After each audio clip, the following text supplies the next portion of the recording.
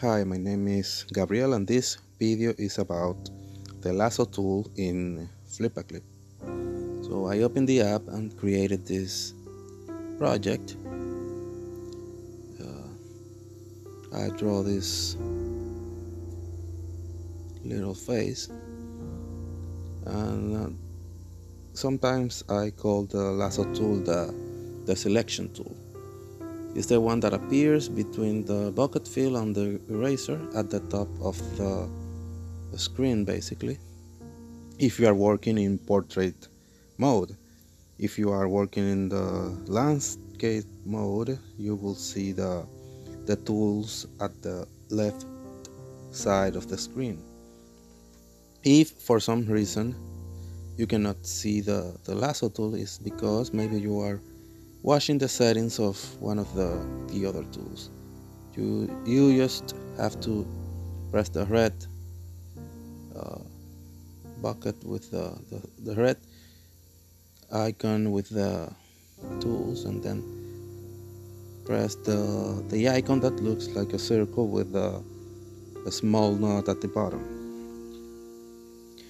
Once you tap the selection tool or lasso tool now you can make a selection by dragging your finger across around the area sorry that you want to select. Now you can see uh, a red box around the selected area. And you can see at the bottom uh, an icon that looks like a trash can for deleting. And uh, this icon is for flipping vertically no horizontally and the other one is vertically. But you can also move move the selection by pressing inside the the red box.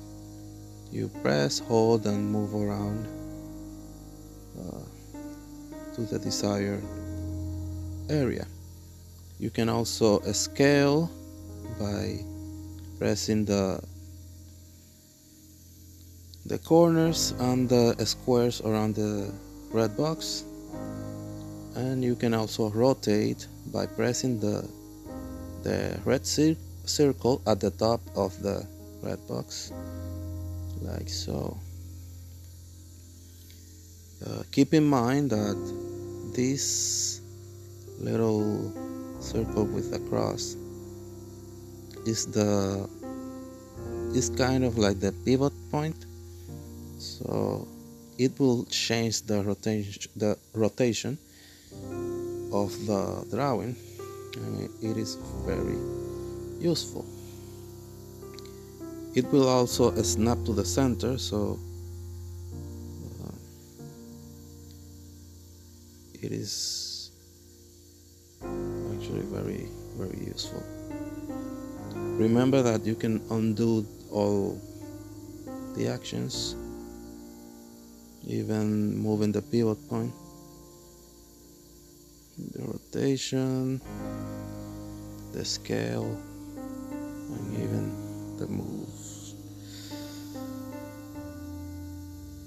you also you most must remember that you can only manipulate the current layer. If we create another layer here and let's say I create I draw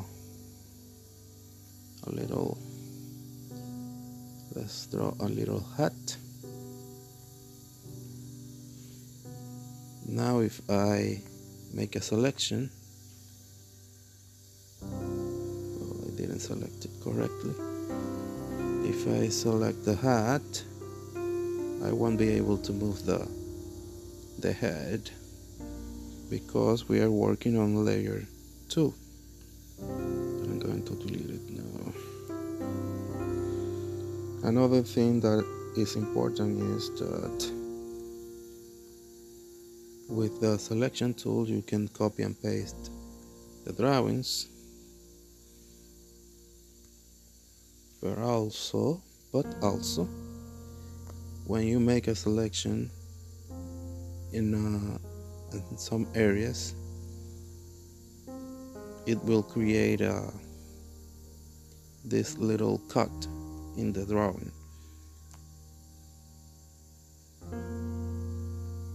Even if you even if you don't move the selection it will create it. For some reason I thought that this wasn't causing problems anymore but as you can see it is actually cutting the the drawing. So remember to undo any mistakes when using the selection tool. Finally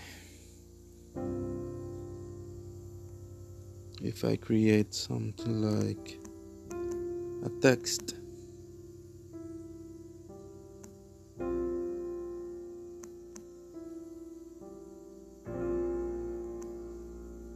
Goodbye bye. If I create a text you can see that the the box is is very similar to the selection to the lasso tool I'm sorry and of course you can manipulate it the same way that that you can manipulate the the box for the selection for the lasso tool sorry. You can scale it up and down. So basically you can also manipulate the text box. Anyway that's all for now and thank you for watching this video and uh, I hope to see you next time. And of course I hope this is useful to you